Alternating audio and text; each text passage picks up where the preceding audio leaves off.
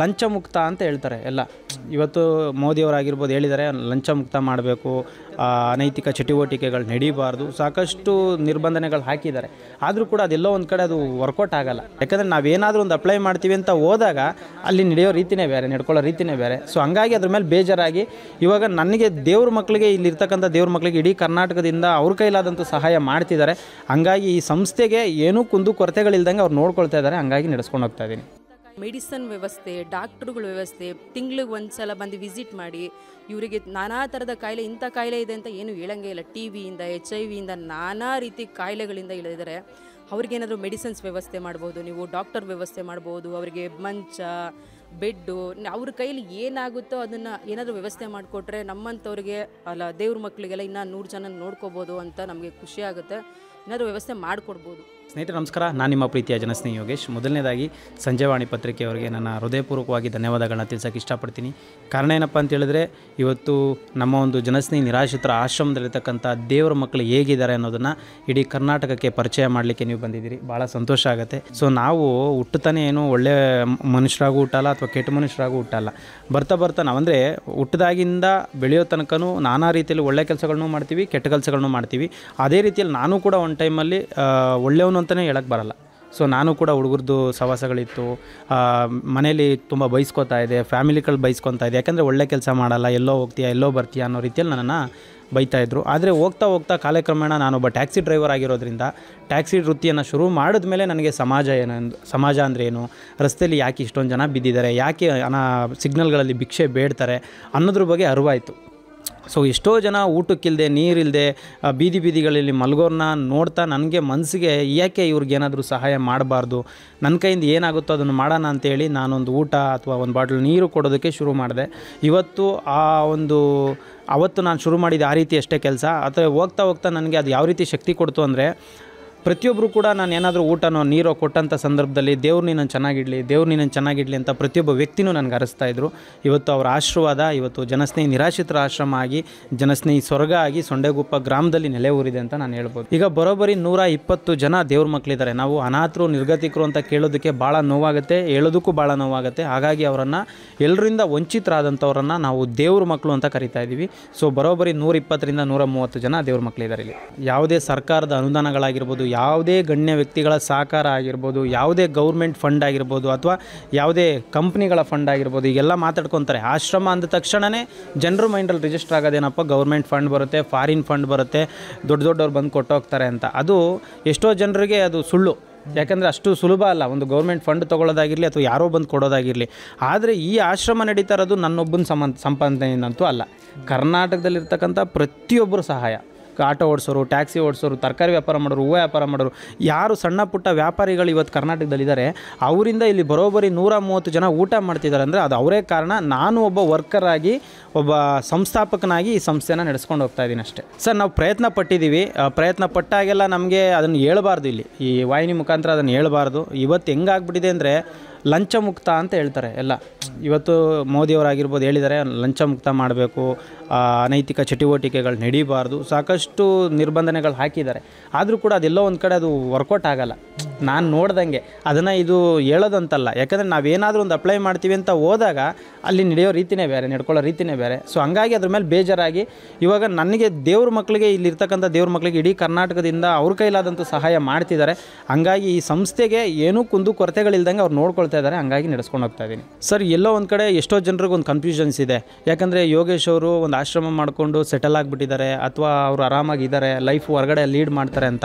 ಯಾಕಂದರೆ ನೋಡೋದು ತುಂಬ ಈಸಿ ಅಂದರೆ ಏನೋ ಅಂತಾರೆ ನೋಡಿ, ದೂರದ ಬೆಟ್ಟ ನುಣ್ಣಗೆ ಅಂತ. ಆ ಹತ್ರಕ್ಕೆ ಹೋಗಿ ಆ ಬೆಟ್ಟ ಹತ್ತುವಾಗಲೇ ಗೊತ್ತಾಗೋದು ಅದ್ರ ಕಷ್ಟ ಏನು, ಅದ್ರ ನೋವೇನು, ಎಷ್ಟು ಟೈಮ್ ತೊಗೊಳುತ್ತೆ, ಎಷ್ಟು ಕಾಲಿಗೆ ನೋವಾಗುತ್ತೆ ಅನ್ನೋದು ಆ ಬೆಟ್ಟ ಹತ್ತುವಂಥ ವ್ಯಕ್ತಿಗಳಿಗೆ ಅಷ್ಟೇ ಗೊತ್ತಾಗುತ್ತೆ. ಸೊ ಈ ಸಂಸ್ಥೆನ ಕಟ್ಟೋದಕ್ಕೆ ನಾನು ಇದನ್ನು ಬೆವರು ಅಂತಲೇ ಹೇಳ್ಬೇಕಾ, ರಕ್ತ ಅಂತ ಹೇಳ್ಬೇಕಾ ಗೊತ್ತಿಲ್ಲ. ಆ ರೀತಿ ನಾನು ಶ್ರಮ ಬಿದ್ದು ಹಗಲು ರಾತ್ರಿ ಕಷ್ಟಪಟ್ಟು ಈ ಸಂಸ್ಥೆನ ಈ ಮಟ್ಟಕ್ಕೆ ತೊಗೊಂಡು ಬಂದಿದ್ದೀನಿ. ಅಂದರೆ ನನ್ನ ನನ್ನ ಶ್ರಮ, ನನ್ನ ಫ್ಯಾಮಿಲಿ ಶ್ರಮ ಜೊತೆಗೆ ಇಲ್ಲಿ ನಾನು ಒಬ್ಬನೇ ಅಲ್ಲ, ಇಲ್ಲಿ ಸಾಕಷ್ಟು ಜನ ಕೆಲಸ ಮಾಡ್ತಾರೆ. ಈ ಏನು ದೇವ್ರ ಮಕ್ಕಳಿದ್ದಾರೆ ಅದರಲ್ಲಿ ಅವ್ರ ಕೈಲಾದಂಥ ಸಹಾಯಗಳನ್ನ ಮಾಡ್ತಾರೆ. ಕಸ ಗುಡಿಸೋದಾಗಿರ್ಬೋದು, ತರಕಾರಿ ಕಟ್ ಮಾಡೋದಾಗಿರ್ಬೋದು, ಇನ್ನೂ ಅನೇಕ ಕೆಲಸಗಳನ್ನ ಅವರು ಜವಾಬ್ದಾರಿಯಾಗಿ ಮಾಡ್ಕೊಂಡು ಹೋಗ್ತಾ ಇದ್ದಾರೆ ಸೊ ಹಂಗಾಗಿ ಅವರೆಲ್ಲರೂ ಶಕ್ತಿ ನನಗೆ.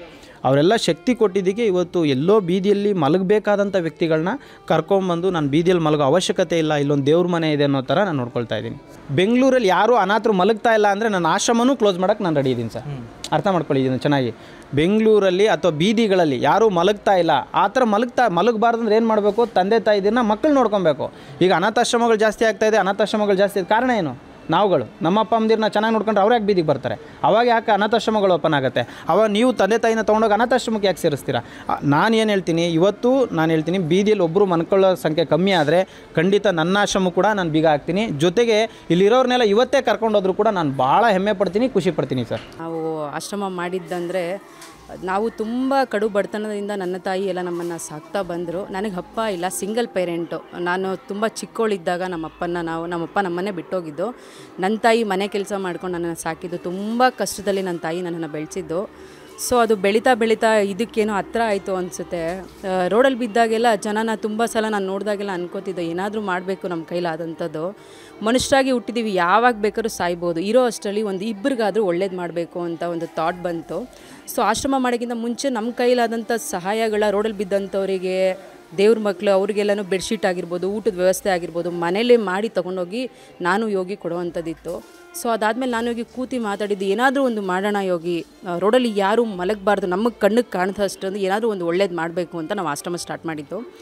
ಎರಡು ಸಾವಿರದ ಹದಿನೆಂಟರಲ್ಲಿ ಸ್ಟಾರ್ಟ್ ಮಾಡಿದ್ದು ನಾವು. ಈಗ ಈಗ ಸತ್ತ ಆರು ವರ್ಷ ಆಯಿತು ಅನಿಸುತ್ತೆ. ನಮ್ಮ ದೇವ್ರ ಮಕ್ಕಳು ನೂರ ಮೂವತ್ತು ಜನ ಇದ್ದಾರೆ.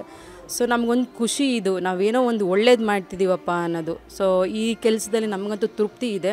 ಈಗಲೇ ಅಂತಲ್ಲ, ನನ್ನ ಕೊನೆ ಉಸಿರು ಇರೋವರೆಗೂ ನಾನು ಈ ಥರ ಆಶ್ರಮ, ಇನ್ನು ನೂರ ಮೂವತ್ತು ಜನ, ಐದು ಸಾವಿರ ಜನನ ನನ್ನ ಕೈ ತುತ್ತು ಕೊಟ್ಟು ನೋಡ್ಕೊಳ್ಬೇಕು ಅಂತ ತುಂಬ ಆಸೆ ಇದೆ.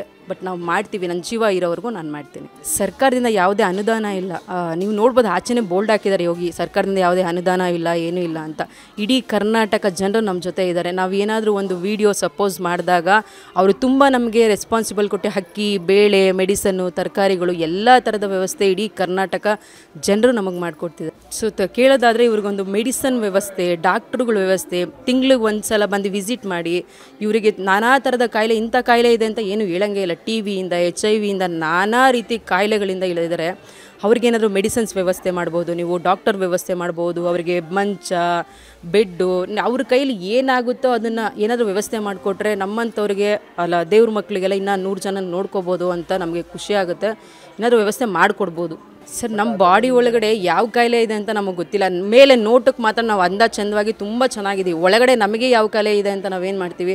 ಈಗ ಟಿ ವಿ ಕಾಯಿಲೆನ ಮುಟ್ಲೇಬಾರ್ದು ಅಂತ ತುಂಬ ಸಲ ಹೇಳ್ತಾರೆ. ನಾವು ಅವ್ರ ಜೊತೆ ಕೂತ್ಕೊಂಡು ಊಟ ಮಾಡ್ತಾರೆ. ನಮ್ಮ ಮಕ್ಕಳು ಸಹ ಅವ್ರ ಜೊತೆ ಕೂತ್ಕೊಂಡು ತುತ್ತು ಮಾಡಿ ಅವ್ರು ತಿನ್ನಿಸ್ತಾರೆ.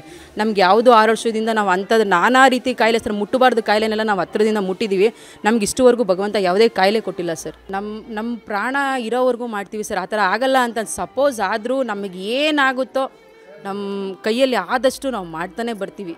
ಕೊನೆವರೆಗೂ ಅಷ್ಟೇ. ಜನರು ನಮ್ಮ ಕೈ ಬಿಡಲ್ಲ ಅಂತ ನಾವು ಅಂದ್ಕೊಂಡಿದ್ದೀವಿ ನನ್ನ ತಾಯಿನೂ ಇಲ್ಲೇ ಅಡುಗೆ ಕೆಲಸ ಮಾಡ್ಕೊಂಡಿದ್ದಾರೆ. ನಮ್ಮ ಅತ್ತೆ ಮಾವನು ಇಲ್ಲೇ ಅಡುಗೆ ಮಾಡ್ತಾರೆ. ನಮ್ಮಲ್ಲಿ ಆಚೆಯಿಂದ ಯಾರನ್ನೂ ಕೆಲಸಕ್ಕೆ ಇಟ್ಕೊಂಡಿಲ್ಲ. ನಮ್ಮ ಅತ್ತೆ, ಮಾವ, ಯಜಮಾನರು, ಮೈದಾ ಅವರೆಲ್ಲ ಇಲ್ಲೇ ಕೆಲಸ ಮಾಡ್ಕೊತಾ ಇದ್ದಾರೆ ಅವರೇ ಮಾಡ್ಕೊತ ಹೋಗ್ತಾರೆ. ಇದು ಇಲ್ಲಿ ಕೊಂದು ಕೊರತೆಗಳು ಯಾವುದೂ ಇಲ್ಲ ನನ್ನ ಪ್ರಕಾರ. ಯಾಕೆಂದರೆ ಮನೆ ಅಂತ ಅಂದರೆ ಇಷ್ಟು ಗಂಟೆಯಿಂದ ಎದೊಳೋದು ಲೇಟ್ ಆಗ್ಬೋದು, ಅಥವಾ ಅಡುಗೆ ಎಲ್ಲ ಲೇಟ್ ಆಗ್ಬೋದು. ಇಲ್ಲಿ ಯಾವುದೇ ಕಾರಣಕ್ಕೂ ಇಲ್ಲ. ಎಂಟು ಗಂಟೆ ಕರೆಕ್ಟಾಗಿ ಕಾಫಿ ಒಂಬತ್ತು ಗಂಟೆ ಕರೆಕ್ಟಾಗಿ ಟಿಫನ್ ಒಂದು ಗಂಟೆಗೆ ಊಟ, ರಾತ್ರಿ ಸಂಜೆ ನಾಲ್ಕರಿಂದ ನಾಲ್ಕೂವರೆ ಅವ್ರ ಪ್ರೇಯರ್ ಮುಗ್ದಿಶಕ್ನ ಕಾಫಿ ಇರುತ್ತೆ. ಸಂಜೆ ಏಳು ಗಂಟೆಗೆ ಊಟ. ಆಮೇಲೆ ನಾನಾ ರೀತಿ ಕಾಯಿಲೆ ಇರೋದ್ರಿಂದ ಮೆಡಿಸಿನ್ಸ್ ತುಂಬ ಅವಶ್ಯಕತೆ ಇರೋದ್ರು ಎರಡು ಟೈಮು ಮೆಡಿಸಿನ್ ಕಂಪಲ್ಸರಿ ಕೊಡ್ತಾನೆ ಇರ್ತೀವಿ ನಾವು. ಅವ್ರ ಬಗ್ಗೆ ಹೇಳಕ್ಕೆ ಎರಡು ಮಾತೇ ಇಲ್ಲ. ಆ ಮಾತಲ್ಲಿ ಪದಗಳನ್ನ ವರ್ಣಿಸೋಕ್ಕೆ ಆಗಲ್ಲ. ಅದು ಅವರು ದೇವರು ಅಂತ ನಾನು ಅಂದ್ಕೊಂಡಿದ್ದೀನಿ ಯಾಕೆಂದರೆ ನಾವಿದನ್ನು ಸ್ಟಾರ್ಟ್ ಮಾಡಿದಾಗ ನನಗೆ ನಮಗೆ ಊಟ ಇರಲಿಲ್ಲ. ಸೊ ಆ ಟೈಮಲ್ಲಿ ನನ್ನ ಗಂಡ ಇದನ್ನು ಸ್ಟಾರ್ಟ್ ಮಾಡಿದ್ರು. ಅವ್ರ ಬಗ್ಗೆ ಪದ ಇಲ್ಲ ಅಂತ ಹೇಳ್ತೀನಿ. ದೇವ್ರನ್ನ ಹೋಲಿಸ್ತೀನಿ ನಾನು. ನಾನು ದೇವ್ರನ್ನ ಎಲ್ಲೂ ನೋಡಿಲ್ಲ. ಸೊ ನನ್ನ ಗಂಡನೆಲ್ಲ ನಾನು ದೇವ್ರನ್ನ